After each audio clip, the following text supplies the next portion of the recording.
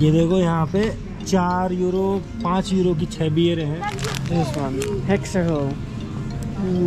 हाँ ये रहे बासमती राइस ये रहा बासमती राइस का पाँच किलो का पैकेट है ये। नहीं साढ़े चार किलो का। ऑलमोस्ट ग्यारह यूरो का है ये। बारिश का तो भाई साहब हाल ही बुरा हाल है सारा आ गई सारा इज़ रेडी ये going to Albert Albert Heijn no shopping. Yes hi guys Ram Ram क्या हालचाल? तो गाइस गुड मॉर्निंग तो आज अ, दूसरा दिन है हॉल अ, मतलब इस विला के अंदर और अभी हमारे घर की हो गई है मतलब घर की क्या मतलब कुछ खाने पीने के लिए सामान लेके आना है? तो मैं यार ये हटा देता हूँ क्या नाम से? कर्टन्स क्योंकि सुबह हो गई और बारिश एक्चुअली आज भी बारिश हो रही है। वही सात आठ डिग्री के आसपास टेम्परेचर है। बारिश का तो भाई साहब हाल ही बुरा हाल है सारा आ गई Sara is ready we going to Albert Albert Heijn no I'll do some grocery shopping. Yes तो मैं एक कर्टन चढ़ा देता हूँ यहाँ की पहले क्योंकि ये देखो बारिश हो रही है बाहर। रिमझिम रिमझिम।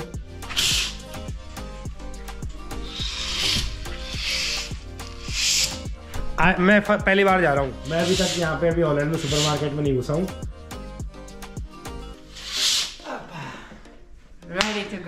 तो वही चीज़ वही चीज़ एक्सप्लोर एक्सप्लोर तो क्या खरीदारी तो करनी है ग्रोसरी तो वही लेके आनी है। और तो हम आपको भी दिखाते हैं वहाँ पे कि, कि कितना महँगा है क्या है। तो रेडी होते हैं और चलते हैं।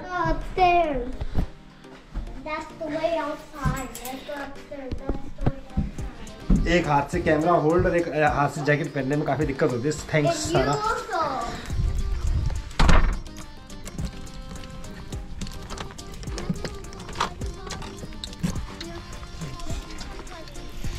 लेट्स गो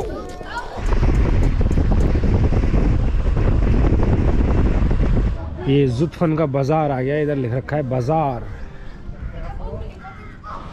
ये इसके सुपरमार्केट के बाहर ही किंग्स डे के लिए सारे ऑरेंज क्लोथ लगा रखे हैं, क्योंकि स्पेशल ऑरेंज क्लोथ ही पहने जाते हैं किंग्स डे पे। तो इधर सेल में डाल रखे हैं, पता नहीं कितने कितने का आउटफिट है। दिस इज़ फॉर वुमेन और men This is for women. It's a dress. Yeah, But thirty four euro it's too cold. Yeah.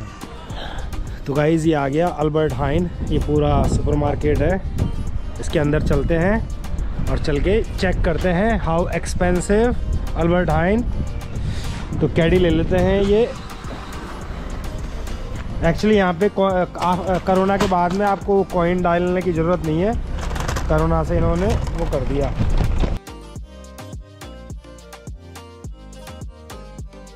Let's go inside ये फ्रूट्स आ गए यहाँ पे।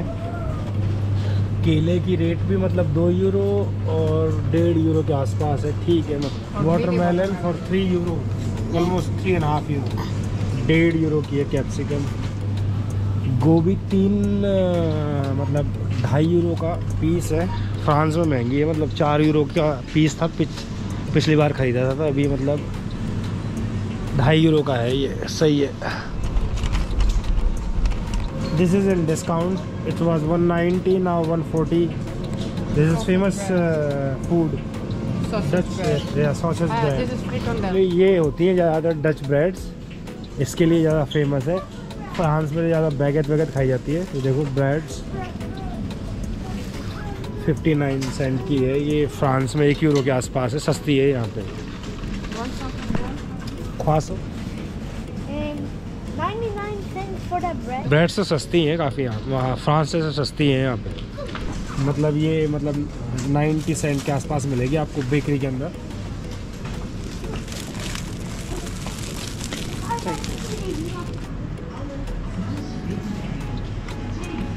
हाँ बियर ये देखो यहाँ पे चार यूरो पाँच यूरो की छः बियर हैं तो मतलब फ्रांस में भी मतलब पाँच यूरो के आसपास है, ये भी ले लेते हैं। बियर हाइनिकन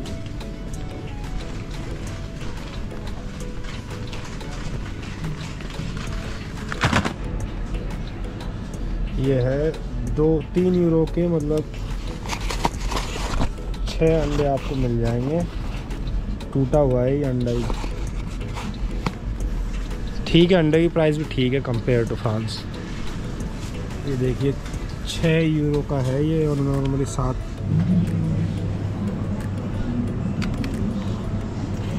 ये चिकन है, तीन। वो काफ़ी महँगा है यार यहाँ पर चिकन तो। चिकन बड़ा ही महँगा कर रखा है इन्होंने। 25 यूरो का किलो कर रखा है फ्रांस में। बढ़िया चिकन लो तो आप मतलब 12 बारह तेरह यूरो के आसपास मिल जाएगा आपको। चिकन महँगा है काफ़ी। और चीज़ें तो मतलब ठीक ठाक है मतलब ऊपर नीचे होती ही रहती है। बाकी चिकन काफ़ी महँगा है? ओह ये रे तारा और बाली क्या कर रहे हैं इन्होंने? What you guys looking looking for Dutch candy ये सारी डच कैंडीज है। This is Dutch candy no made out of anise Oh, this is my favorite. है This one. Hexago.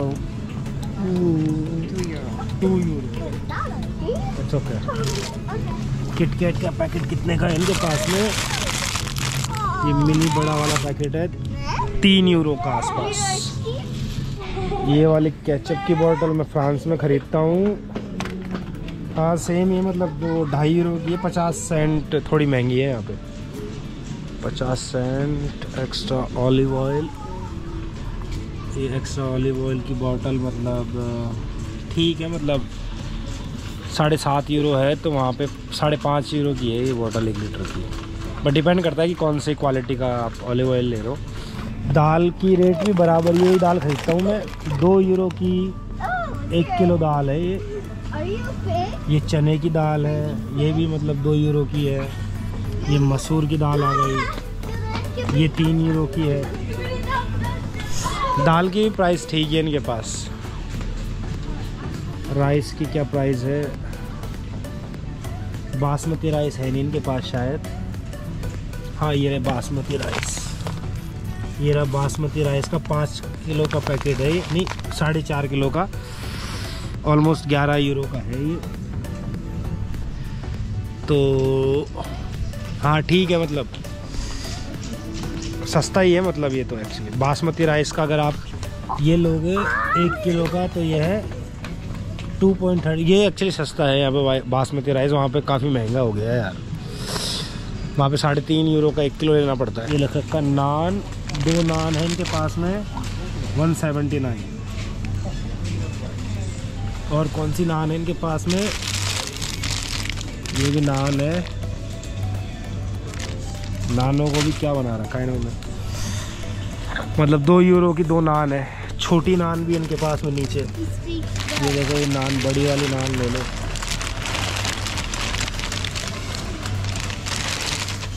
पूरी रोटियाँ लगा रखी है इधर। एक इधर ये रही दो प्लेन नान देखो ये कितने की है। ये भी तीन यूरो की है? तो ये नान है। तो नान की प्राइस भी ठीक ठाक है।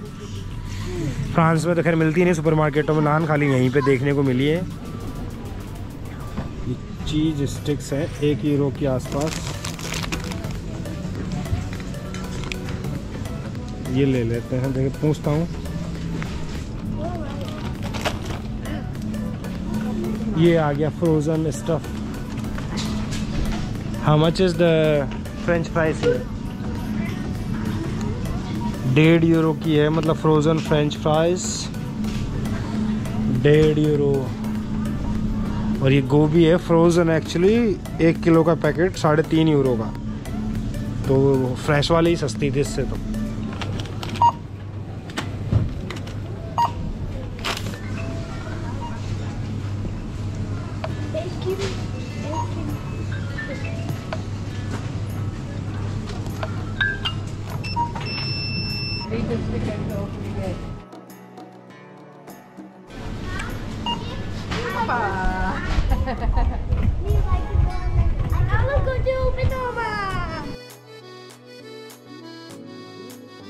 तो गाइज़ ये मेरे पीछे आपके आप देख रहे हैं अल्बर्ट हाइन और इसमें जो ग्रोसरी है ठीक ठाक है। तो अब हम घर जाके हमारी ग्रोसरी को करते हैं। अनपैक और तब तक के लिए आप कर लीजिए हमारे चैनल को सब्सक्राइब बाय जय राम जी की।